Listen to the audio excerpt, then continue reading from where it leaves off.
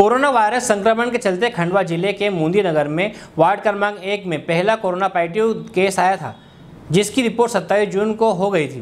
Report positive आने के बाद 30 जून को कोरोना पॉजिटिव मरीज़ को खंडवा हॉस्पिटल पहुँचाया गया था।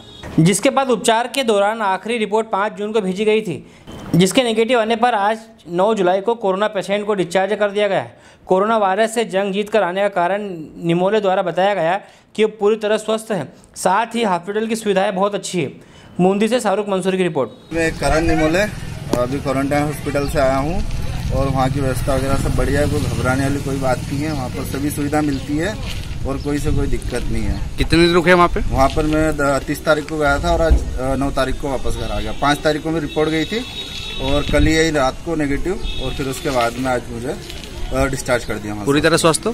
पूरी तरह स्वस्थ हो कोई दिक्कत नहीं धन्यवाद। टोटली फाइन हेलो फ्रेंड्स आप देख रहे हैं हमारा channel S W twenty four news हमारे सारे वीडियो सबसे पहले देखने के लिए आप हमारे चैनल को सब्सक्राइब करें और पास में लगे बेल आइकन को दबाना बिल्कुल भी ना भूलें।